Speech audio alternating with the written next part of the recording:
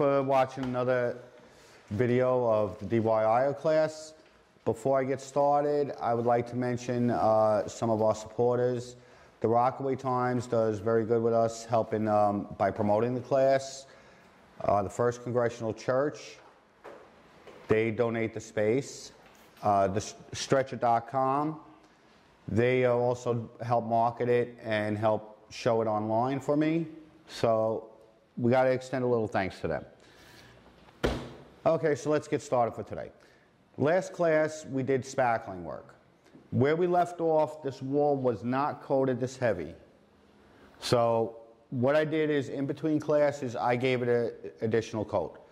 We worked on how to spackle and get the edges semi-smooth so that we can continue the work.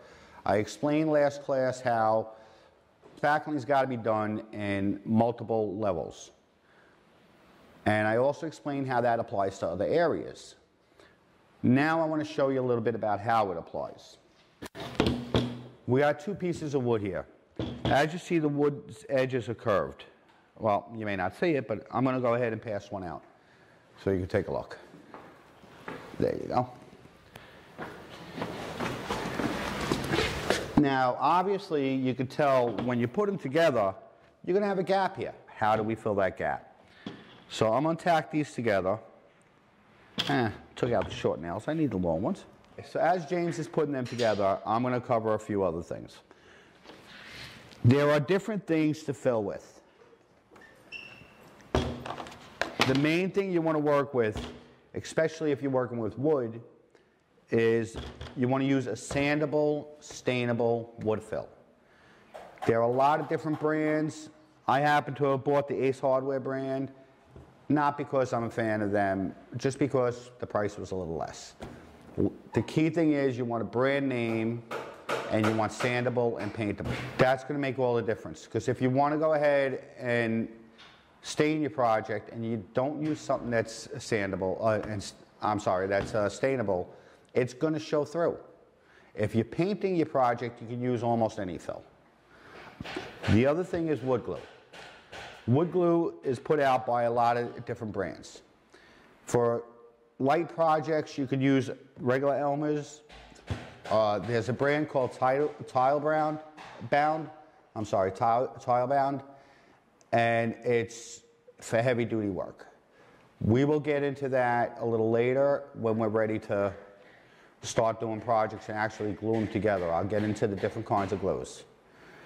When you put the wood together, nails are beautiful, screws are beautiful. You always want to put a little glue where they join though, because it always adds a little extra strength. Okay, the Elmer's is great for general work, like what we're doing here.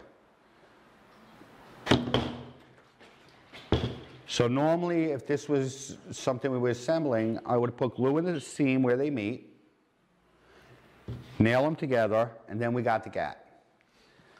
As I said with the last class, you don't want to leave any of your uh, products open. If you leave your spackle open while you're working, you get dust or anything in it, it contaminates it and makes it hard to finish work. Same goes with the wood fill. So what I'm going to do is I'm going to take a little out, a little more than I need. I'm just piece of wood, piece of cardboard, anything is fine to work with. Just and put the lid on. Now I know that's safe. That's not going to get contaminated. Scoop a little on a knife. As I showed with the spackle, when you're scooping it up, you don't want to get your knife all into everything. So you want to scoop it and then lift the knife off. That leaves the back of your knife clean. You're going to get to try all this before we're done. Put a little excess. Take the knife and bring a clean edge.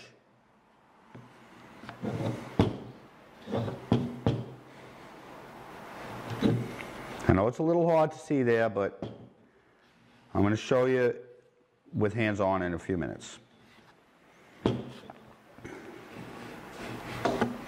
Now, when I filled it, it went beyond the seam. That means it's probably going to need another coat after this, after this dries. But it's going to go ahead and make a smooth transition from one to the other. That's why you want to go with the sandable because if you just got the seam, it's not so terrible, But when you got to go ahead and expand it out a little bit, the sandalwood makes all the difference. Now I'm going to show you a little something additional, which is jumping ahead, but I want to give you a little reference.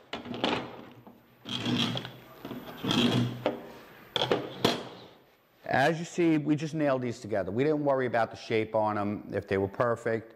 Normally, when you're working with something, you want it square. There are multiple kinds of squares. I have the three most common with me today. A square like this is very simple. It's got the lip, it lays on, and you check your edge here. Works on the inside also. So it makes everything nice, nice and easy. Square like this is good for areas where it's a little larger. Let's say you're doing a bookshelf and you want to be able to slide it down and make sure everything's uh, straight. It's a little more convenient. You could also lay it on top or on the inside. This square is actually called an angle finder. This is something like this here that's not perfectly square. If you got to make a duplicate of it, you lay it in, it finds your angle. Now, when you look, they don't actually meet. So that shows that this is not what they call a 90 degree angle. We'll cover what the angles are later on actual projects. But for right now, I just want to show you the basics. This way, when I bring it up with a project, you're going to be able to say, oh, I remember when Artie said this.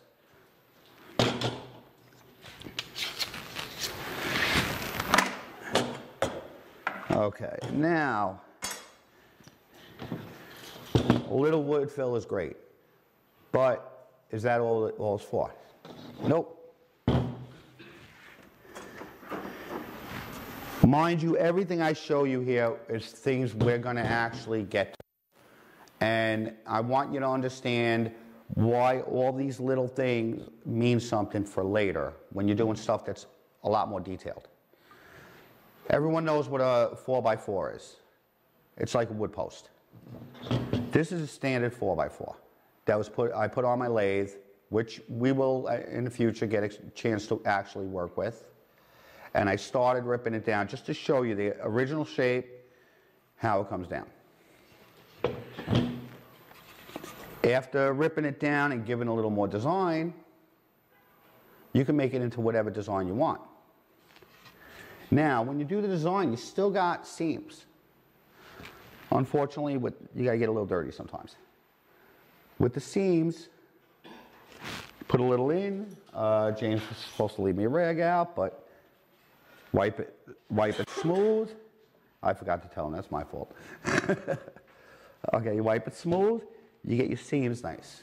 So now this way when it's done and you do the final sanding on it, there's no cracks or gaps. There's two ways you want to look at it.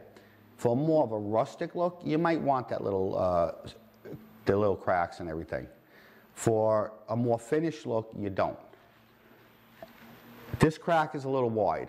You might be able to see it from over there. Now, I'm doing the same thing I did with the spackle knife, but I'm just using my finger instead. Once that dries, I can give it a sanding, and that's going to be a smooth transition. So this just shows you how things apply to other areas. You can see it firsthand, and you can see some of the things that you're going to get into. Now I'm going to just cover one or two little things, and then we're going to actually get some hands-on. and We're going to actually do what I just did here, get some practice.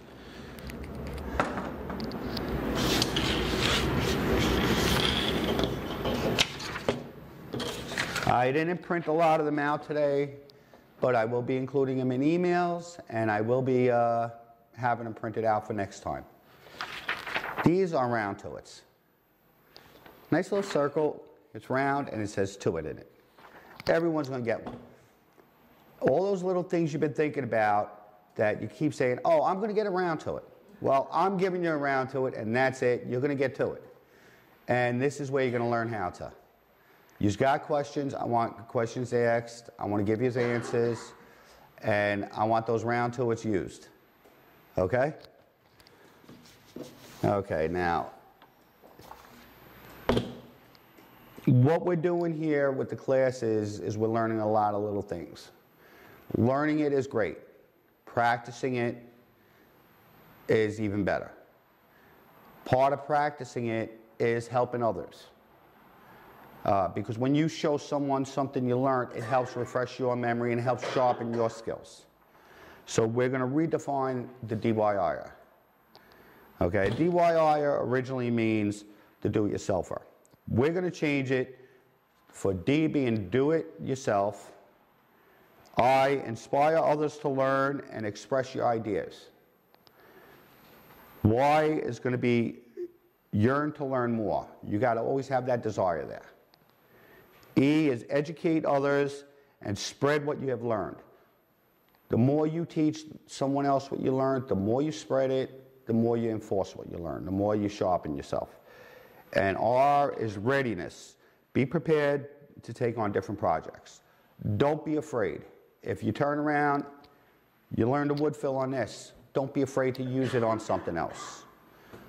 All right, by trying on something else, there's trial and error. You're going to make mistakes. Learning how to fix them is part of learning how to do things. So there is no fear, there's just knowledge, and you're going to get it. All right, we're going to take a couple of minute pause, and then we're going to go ahead and uh, get you up here and actually start putting some of these together and let you see how it, to assemble it. Um, you're going to assemble something simple like this because later I'm going to teach you how to assemble stuff for finished products. And then we're gonna, you're gonna also do the wood fill yourself. All right, ask your question. I wanted to know what standard size nails you use to, Okay, when you're doing something like this, because of the type of wood we're using, we're using a regular finishing nail. This way, when you nail it in, and you could actually set the na- nail, you won't even see the head. all right, uh, Now, if you look at the nails, see there's a little hole in the middle. Mm-hmm. okay, That's for setting the nail. There's a tool called a nail set. When we're working on other projects, I'm going to bring that in. And when the nail's in the wood, you actually put this on and tap it with a hammer and brings the head just below the wood. As far as sizes, we're using a two inch nail. If you use an inch and a half nail and you look at the wood you're working with, you don't have much penetration to the other. Okay, It's not going to hold too well. All right. Another reason we're using the two-inch nail is because it's a heavier nail. And for your purposes, you're just learning to work with this stuff. The nail, the smaller nails will bend if you don't hit them right. So we're going to avoid the smaller nails. I'm going to ask you to work together a little bit. Okay, let's get these out of the way. What it is at home, yes. But they were big nails. Yeah, they are big nails, and it took a little extra banging, and a little extra work. But one of the reasons, like I said, that I did want you using these nails, because if you use the other ones, they would have bent on you left and right. Don't hesitate to wipe the back off. Scoop a little on, apply it to where you're working, and just, like we said with the last class, tight knife, same thing. See the difference? Now, your wood, we did not work with a square. We did not make everything all perfect. So it's not, it's going to be a little fill. Don't be afraid to fill it. That,